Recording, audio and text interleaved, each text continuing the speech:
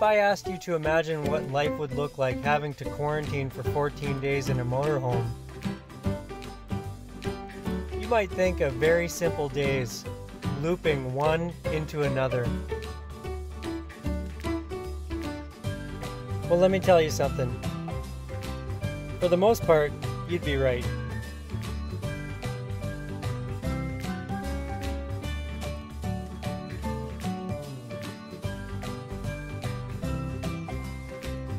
The span of a few short months, we went from running free exploring Bali, Indonesia,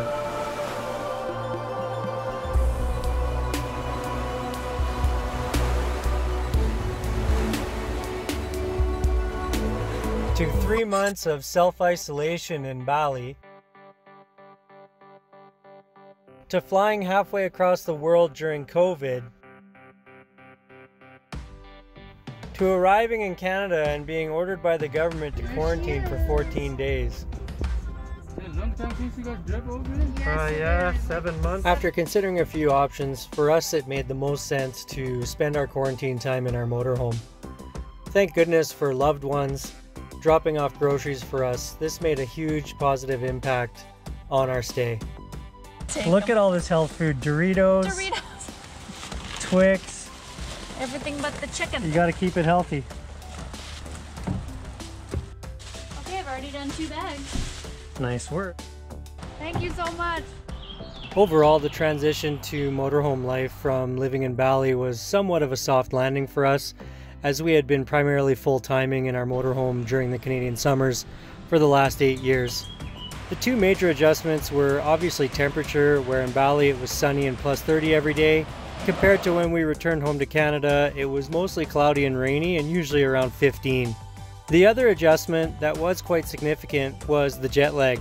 After being in Asia for more than six months, changing that many time zones in a short period was taxing on the body. We would be going along trying to make somewhat of a normal day, and then out of nowhere in the middle of the afternoon, jet lag would hit, and even Lori would pass right out. And she's a never nap. He's a never nude. Is that exactly what it sounds like? Tobias suffered a rare psychological affliction of never being able to be completely naked. Excuse me, do these effectively hide my thunder? Ah. Thanks. I'll just drop them here. Welcome, friend. Okay, enjoy while it's warm. Thanks very much. We appreciate it. I'll add it to our running total. You betcha. Thank you so much. You're welcome. Enjoy. Thanks, Dad.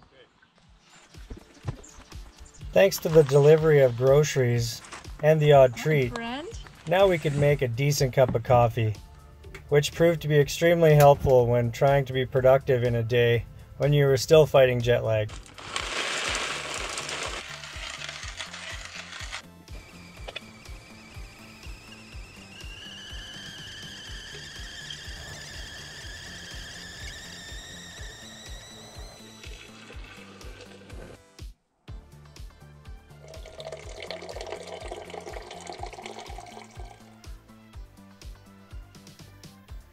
Now, with the help of being charged up on caffeine and the everyday midday blackout, we could begin to do some of the little things you might do in a normal day, like small repairs around the RV.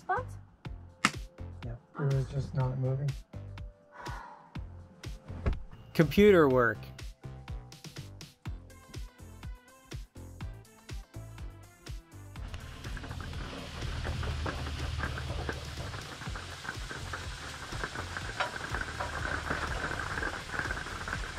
Making meals and doing small household chores.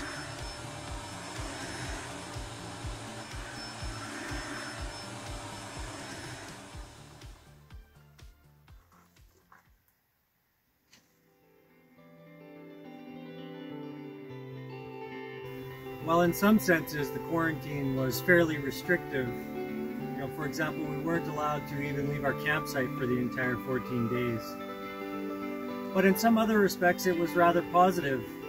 You know, as I mentioned before, we needed all of those 14 days to recover from the jet lag that we experienced from being in Asia and Australia for six months.